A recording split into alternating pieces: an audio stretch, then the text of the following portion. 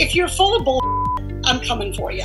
It's convenient for your lawyers to deflect blame in court, but when then you come to Congress, you want us to take you at your word. That's why the American public is having trouble trusting Wells Fargo. You don't know the cost to mail a postcard. I don't. I'll submit that I know very little about a postage stamp.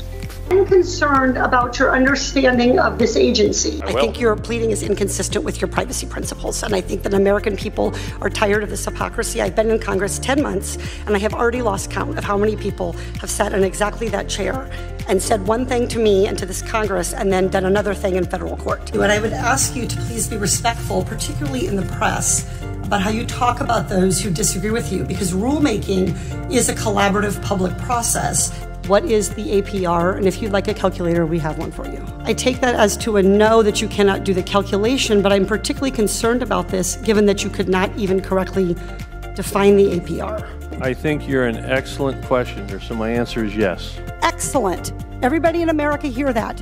You are eligible to go get tested for coronavirus and have that covered regardless of insurance.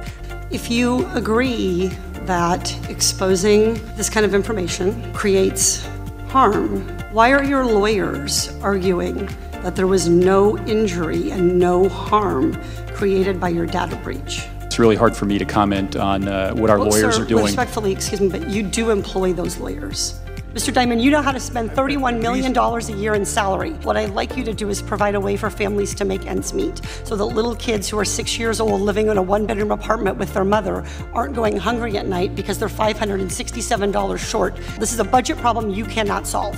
While it's very much a fight for the LGBTQ community. I want you to know as the first single mother of young children to be serving in the US Congress, and I don't like labels like traditional and non traditional because to me the only family that matters is a loving one. Do you know what an REO is? An Oreo? No, not an Oreo. Uh, uh, an REO.